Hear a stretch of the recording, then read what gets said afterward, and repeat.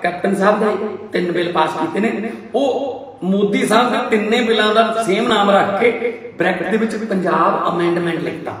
ਪੰਜਾਬ ਸਰਕਾਰ ਬਿੱਲ ਬਣਾਉਂਦੀ, ਤਾਂ ਪੰਜਾਬ ਸਰਕਾਰ ਪੰਜਾਬ 'ਚ ਲਾਗੂ ਕਰ ਸਕਦੀ ਹੈ। ਅਮੈਂਡਮੈਂਟ ਫਿਰ ਸੈਂਟਰ ਕੋਲ ਜਾਊਗਾ।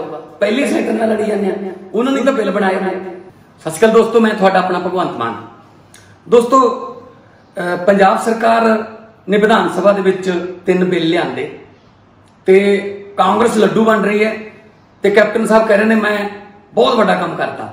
ਪਰ ਜਿਵੇਂ ਮੋਦੀ ਸਰਕਾਰ ਕਰਦੀ ਹੈ ਨਾ, ਕਿ ਜਦੋਂ ਵੀ ਉਹਨਾਂ ਨੇ ਕੋਈ ਕੰਟਰੋਵਰਸ਼ੀਅਲ ਬਿੱਲ ਪਾਸ ਕਰਨਾ ਹੋਵੇ, ਤਾਂ ਵਿਰੋਧੀ ਪਾਰਟੀਆਂ ਨੂੰ ਬਿੱਲ ਨਹੀਂ ਦਿੰਦੇ ਪੜਨ ਵਾਸਤੇ।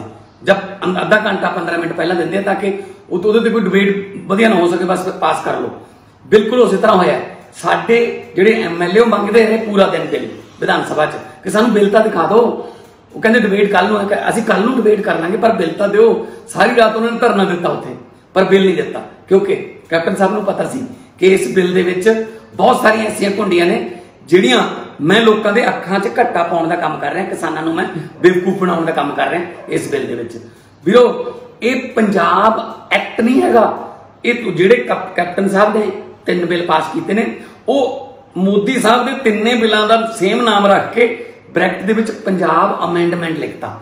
ਪੰਜਾਬ ਸਰਕਾਰ ਬਿੱਲ ਬਣਾਉਂਦੀ, ਤਾਂ ਪੰਜਾਬ ਸਰਕਾਰ ਪੰਜਾਬ 'ਚ ਲਾਗੂ ਕਰ ਸਕਦੀ ਹੈ। ਅਮੈਂਡਮੈਂਟ ਫਿਰ ਸੈਂਟਰ ਕੋਲੇ ਜਾਊਗਾ। ਪਹਿਲੇ ਸੈਂਟਰ ਨਾਲ ਲੜੀ ਜਾਂਦੇ ਆ। ਉਹਨਾਂ ਨੇ ਤਾਂ ਬਿੱਲ ਬਣਾਏ ਨੇ। ਸੋ ਇੱਕ ਤਾਂ ਇਹ ਅੱਖਾਂ 'ਚ ਘੱਟਾ ਪਾਇਆ ਦੂਜਾ ਕਹਿੰਦੇ ਐਮਐਸਪੀ ਜਿਹੜੀ ਹੈ, ਉਹ ਉਹ ਤੋਂ, ਜਿਹੜਾ ਉਹ ਤੋਂ ਥੱਲੇ ਖਰੀਦੂਗਾ, ਉਹਨੂੰ 3 ਸਾਲ ਦੀ ਸਜ਼ਾ ਦੀ ਪ੍ਰੋਵੀਜ਼ਨ ਹੈ। ਵਧੀਆ ਗੱਲ ਹੈ। ਕਿਸੇ ਨੂੰ ਕੋਈ ਬਲੈਕਮੇਲ ਨਾ ਕਰੇ, ਦਬਾਅ ਨਾ ਪਾਏ ਕਿਸਾਨ ਤੇ।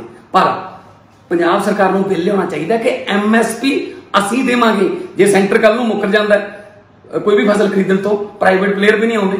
ਫਿਰ ਕਿਸਾਨ ਕਿੱਥੇ ਵੇਚੂਗਾ ਜੀ? ਐਮਐਸਪੀ ਦੇ ਨਾਲ ਸਾਨੂੰ ਖਰੀਦ ਦੀ ਗਾਰੰਟੀ ਵੀ ਦਿਓ ਕਿ ਹਾਂ, ਵਿਕੂਗੀ। ਭਾਵੇਂ ਜੋ ਮਰਜ਼ੀ ਹਾਲਾਤ ਹੋ ਜਾਣ।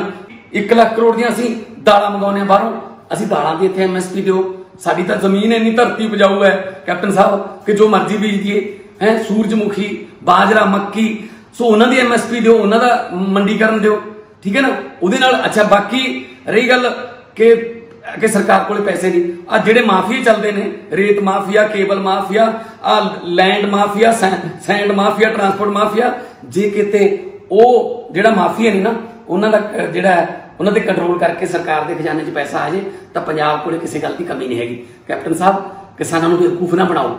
ਸੋ, ਆਮ ਆਦਮੀ ਪਾਰਟੀ ਪਹਿਲਾਂ ਵੀ ਕਿਸਾਨਾਂ ਨਾਲ ਖੜੀ ਸੀ, ਹੁਣ ਵੀ ਖੜੂਗੀ। ਪਰ ਤੁਸੀਂ ਕਿਸਾਨਾਂ ਨੂੰ ਇਸ ਤਰ੍ਹਾਂ ਪਹਿਲਾਂ ਵੀ ਤੁਸੀਂ ਬਹੁਤ ਸਾਰੇ ਵਾਅਦੇ ਕਰਕੇ ਨਾ ਐਦੇ ਮੁੱਕਰ ਜਾਂਦੇ ਹੁੰਦੇ ਹੋ। ਇਹ ਵੀ ਤੁਹਾਡੇ ਉਹਨਾਂ ਮੁੱਕਰਨ ਵਾਲੇ ਵਾਅਦਿਆਂ ਚੋਂ ਇੱਕ ਹੋਰ ਵਾਅਦਾ ਹੈ। ਤੁਸੀਂ ਸਿਰਫ ਆਪਣਾ ਬਚਾਅ ਕਰਕੇ ਕਹਿੰਦੇ, ਮੈਂ ਤਾਂ ਆਪਣੇ ਵੱਲੋਂ ਕਰਤਾ, ਹੁਣ ਸੈਂਟਰ ਤੇ ਸੈਂਟਰ ਦੇ ਪਾਲੇ 'ਚ ਗੇਂਦ ਹੈ। ਸੈਂਟਰ ਦੇ ਪਾਲੇ 'ਚ ਤਾਂ ਪਹਿਲੀ ਗੇਂਦ ਸੀ। ਆਪਾਂ ਲਾਗੂ ਕਰੋ, ਪੰਜਾਬ ਦੇ ਐਕਟ ਨਹੀਂ ਹੈਗੇ ਪੰਜ- ਪੰਜਾਬ ਵੱਲੋਂ ਅਮੈਂਡਮੈਂਟਸ ਨੇ ਜਿਨ੍ਹਾਂ ਨੂੰ ਸੈਂਟਰ ਨੇ ਨਹੀਂ ਮੰਨਣਾ।